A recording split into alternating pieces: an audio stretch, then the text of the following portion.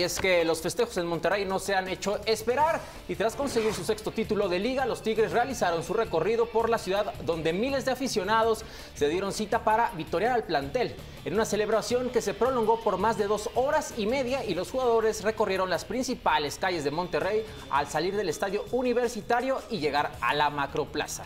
También, por supuesto, hablar de los campeonatos que ha tenido Ricardo El Tuca Ferretti, este gran entrenador del fútbol mexicano, en donde consiguió el título con el conjunto de las Chivas Rayadas de Guadalajara, también lo consiguió con los Pumas y los títulos conseguidos, por supuesto, también con el conjunto de Tigres, el llamado grande y el llamado equipo de la década, los Tigres de la Universidad Autónoma de Nuevo León, por supuesto, es un total de cinco títulos los conseguidos por Ricardo el Tuca Ferretti, el técnico brasileño naturalizado